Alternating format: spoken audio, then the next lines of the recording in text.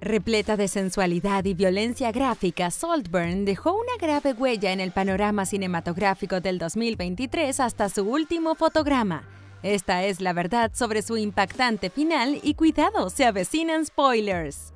Saltburn comienza en lo que parece ser aproximadamente la época actual con Oliver Quick reflexionando sobre su relación con Felix Catton. La película retrocede hasta el momento en que ambos se conocieron en Oxford en el 2006. Como la mayoría de los estudiantes de la universidad, Felix es rico, mientras que Oliver es uno de los pocos estudiantes becados. Supuestamente el padre alcohólico de Oliver ha fallecido y él no tiene ningún interés en volver a casa con su madre drogadicta. Sintiéndose mal por su nuevo amigo, Felix invita a Oliver a pasar el verano en Saltburn, la fastuosa finca de su familia. Allí Oliver conoce a la familia de Felix, Sir James, su padre distraído, Elspeth, su madre snob, y Venetia, su hermana depresiva y bulímica. También vive en Saltburn el primo de Felix, Farley Start, quien es un estadounidense birracial que está desesperado por aferrarse al estatus de su familia británica y ya tiene una relación antagónica con Oliver en la escuela. Oliver está obsesionado con Felix y cuando Venetia y Farley intentan dejarle claro que Felix solo lo ve como un juguete temporal con el que jugar, responde metiéndose con ambos de forma perversa.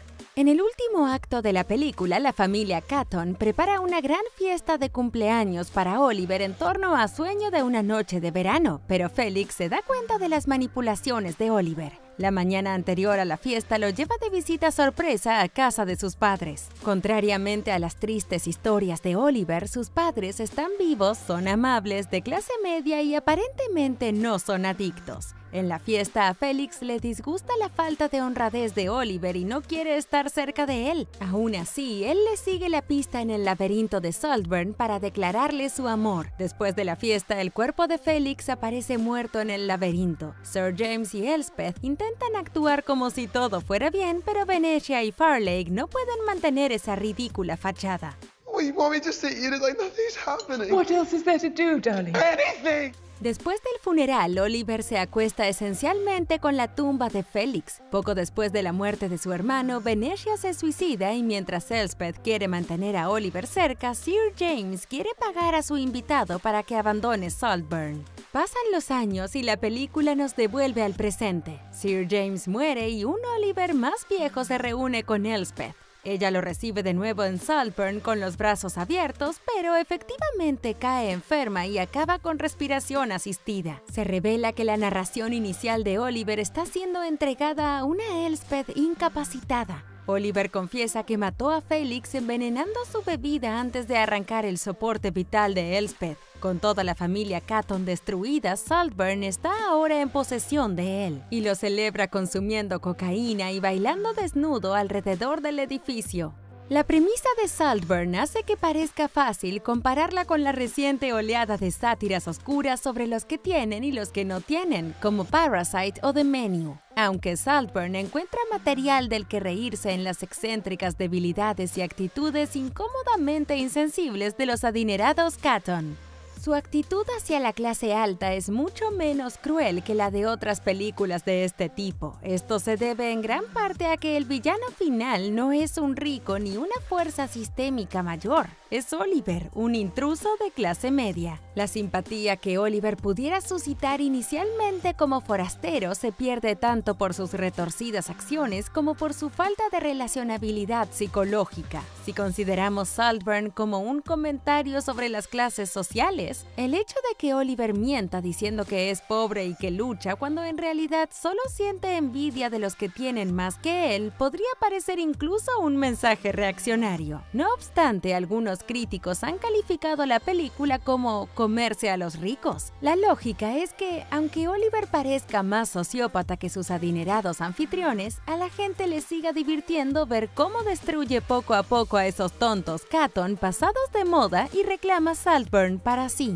Es importante reconocer que Saltburn tiene lugar en Inglaterra, donde las cuestiones de clase se tratan de forma diferente a como se tratan en Estados Unidos, mientras que el capitalismo estadounidense se basa en la idea del sueño americano en el que cualquier persona de cualquier origen puede llegar a triunfar si trabaja lo suficiente, las estructuras de clase británicas se tratan con una línea mucho más rígida entre castas. Esto es especialmente visible en instituciones como Oxford, donde un estudiante becado como Oliver sobresale por completo.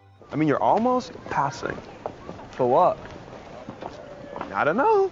En ese contexto cultural, es posible que los británicos sientan una catarsis aún mayor al ver a Oliver encontrar la forma de elevarse por encima de su posición, independientemente de los retorcidos métodos con los que lo consiga. En Estados Unidos, las historias de personas que alcanzan enormes cantidades de riqueza mediante métodos controvertidos son comunes y populares, por lo que este aspecto de la película resulta un poco más básico y menos satisfactorio al otro lado del charco. A lo largo de la película, Saltburn reconoce este choque cultural a través del personaje estadounidense de Farley, uno de los personajes secundarios más complejos de la película que intimida a Oliver para hacer valer sus conexiones con el privilegio dentro de la estructura de clases británica. Pero la posición de Farley es muy condicional y su familia hiperprivilegiada sigue tratándolo como a un extraño. No hay duda de que esto se debe a su condición birracial, pues aunque las jerarquías de clase están algo menos arraigadas en la psique estadounidense, las jerarquías raciales están fijas a ambos lados del Atlántico. Aunque Saltburn invoca muchas conversaciones sobre la clase social, la principal fuente de dramatismo de la película son los sentimientos de Oliver hacia Félix. En la narración inicial de la película, Oliver afirma que quería a Félix, pero que no estaba enamorado de él. Tanto Oliver como Félix hablan de amor mutuo a lo largo de la película y al menos en el caso de Oliver eso va más allá de ver a Félix como buenos amigos y se convierte en una clara fijación sexual homoerótica.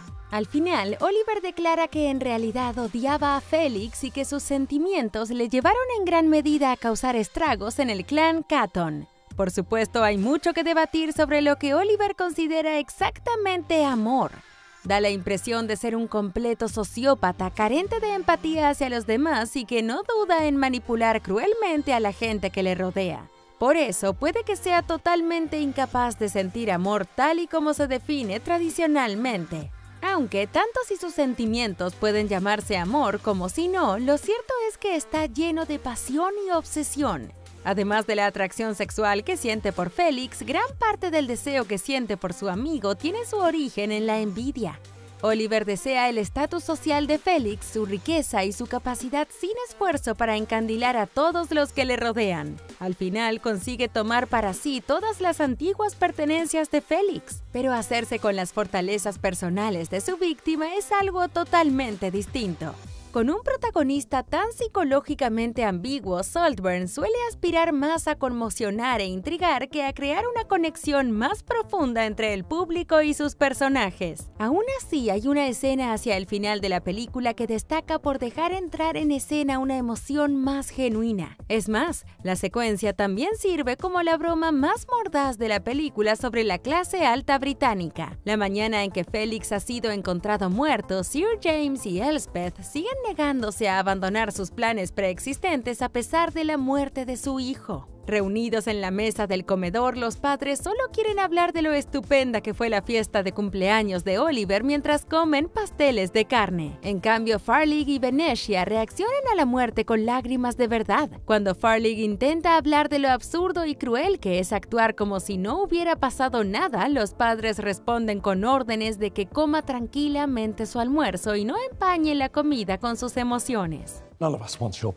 American feelings.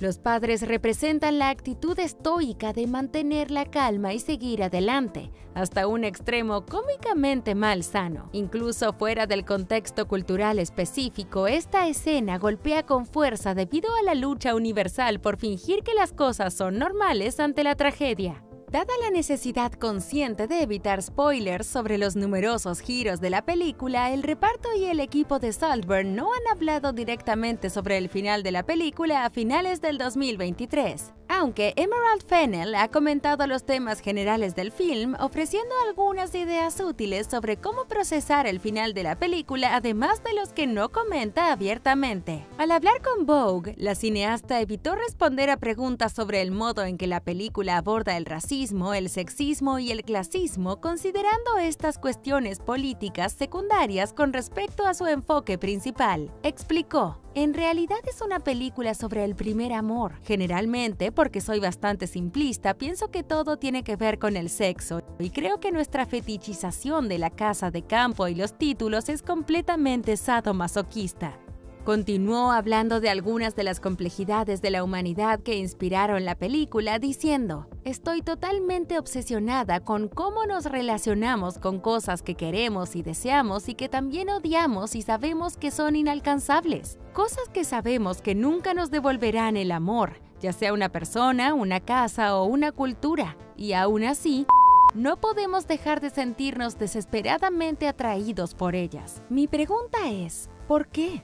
Las imágenes de la culminante fiesta de cumpleaños temática de Oliver sobre sueño de una noche de verano han estado presentes en todo el marketing de Saltburn, así que aunque los dramáticos acontecimientos de la fiesta siguen siendo material de spoiler, el equipo de la película ha podido hablar de los elementos de diseño de la secuencia. En las notas de prensa de la película, la diseñadora de producción Susie Davis explicó, había muchos elementos de diseño que queríamos aportar a la fiesta, elementos que debían dar la sensación de llevar años en la familia. Davis continuó explicando la elección de incluir la imagen bastante fuera de lugar de un cerdo asándose en un espetón en el fastuoso evento, diciendo, y luego, para contrastar, hablamos de poner el cerdo ligeramente grotesco en el asador rodando delante. Se trataba de la juxtaposición de lo surrealista, lo siniestro y lo colorido. La diseñadora de vestuario Sophie Canal también se sinceró sobre el traje de cornamenta de Oliver, explicando que surgió del deseo de darle un aspecto mítico. También señaló el contraste entre los diseños intensamente enjollados de los trajes de Venetia y Elspeth frente al traje más perezoso de Félix, diciendo: Tienes a todos los demás en la fiesta con vestidos de baile, corbata negra, disfraces o vestidos de pacotilla, pero Félix solo lleva sus jeans y un chaleco. Luego se ha puesto un par de alas y ese es todo el esfuerzo que va a hacer. Hablando en las notas de prensa antes de la huelga SAG-AFTRA, Archie Madekwi, que interpretó a Farley en la película, describió el efecto dramático que la fiesta tiene en la historia. Observó, a lo largo de la película hay algo shakespeariano en Saltburn y los Catton, y todo cobra vida esa noche. Otra clave para entender Saltburn son sus conexiones con el romance gótico y las historias de terror. Fennel citó varias novelas góticas como Rebecca de Daphne du Maurier como influencia en las notas de prensa de la película. Según The Standard, en las proyecciones de la película ha ido más lejos al describir el horror del largometraje como algo parecido a un film de vampiros, diciendo, ciertamente metafóricamente es una película de vampiros, trata de lo que hacemos cuando estamos completamente enamorados de algo o de alguien, y espero que forme parte de la tradición gótica clásica en la que el amor y el odio están muy, muy unidos. Mientras comentaba algunos elementos de la trama de la película tras una proyección en el Museo de la Academia de Los Ángeles, Fennel profundizó en cómo la metáfora del vampiro se aplica a Oliver. Según Deadline, sus comentarios destacaron cómo Oliver tiende a absorber las cualidades de la vida que desea de quienes le rodean del mismo modo que un vampiro chupa la sangre de un mortal. Por su parte, los Caton hacen lo mismo con otros personajes de la película. Posiblemente el ejemplo más claro de este comportamiento sea el trato conflictivo que Elspeth da a su atribulada amiga Pamela a lo largo de la película. Hammer died. Yeah. She'd do anything for attention.